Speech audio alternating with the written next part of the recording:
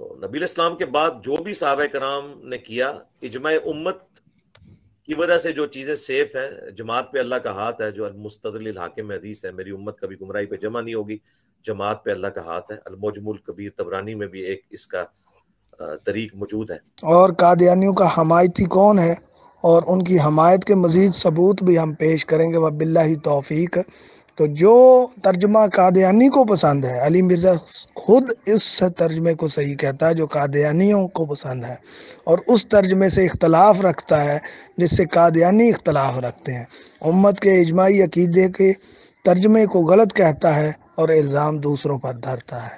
या इसको यूँ समझ लीजिए कि गैर की आँखों का तिनका तुझे आता है नज़र, देखा अपनी आँख का गाफिल ज़रा शहतीर भी।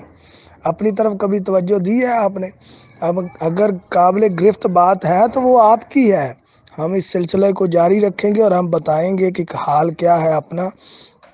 आम मुसलमानों को ये बताते हुए कि भाई देखें जी, आठ तर्जमे कुरान पाक के हम बताते हैं और तर्जमे जो है उसमें गड़बड़ नहीं है। इन चीज़ों को बयान करते हुए कितनी बड़ी बात की। इसको आप खुद देखिए, सुनिए, समझिए।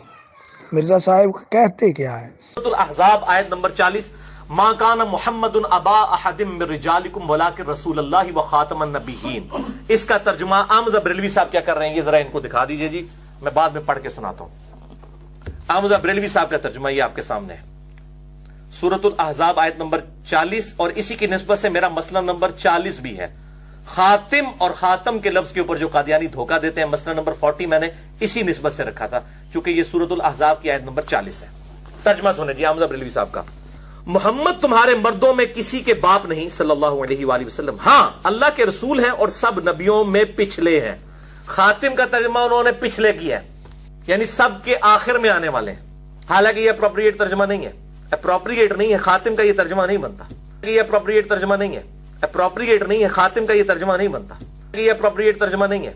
अप्रोप्रिएट नहीं है, खातिम का यह तर्जमा नहीं बनता।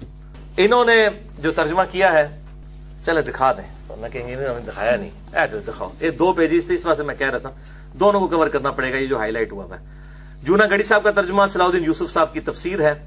सूरतुल अहजाब, आयत नंबर 40 तर्जुमा किया है लोगों, मोहम्मद तुम्हारे मर्दों में से किसी के बाप नहीं है, लेकिन आप अल्लाह के रसूल हैं और तमाम नबियों के खत्म करने वाले हैं। सल्लल्लाहु अलैहि तर्जुमा वैसे गलत है। ये तर्जुमा वैसे गलत है। ये तर्जुमा वैसे गलत है।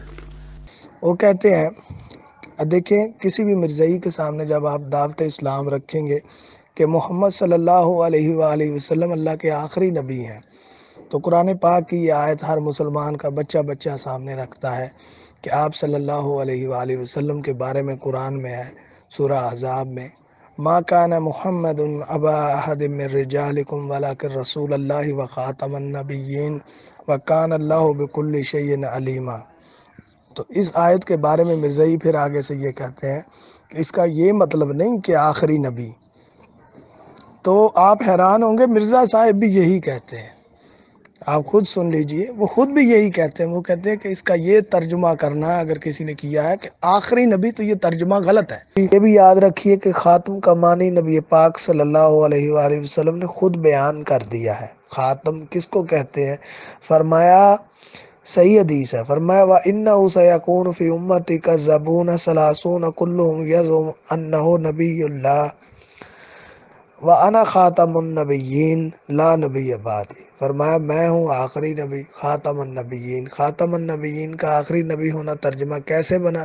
फरमाया, अना ख़ातमुन्नबिय्यीन और ख़ातमुन्नबिय्यीन कौन होते हैं? फरमाया, ला नबी बादी जिसके बाद कोई नबी नहीं।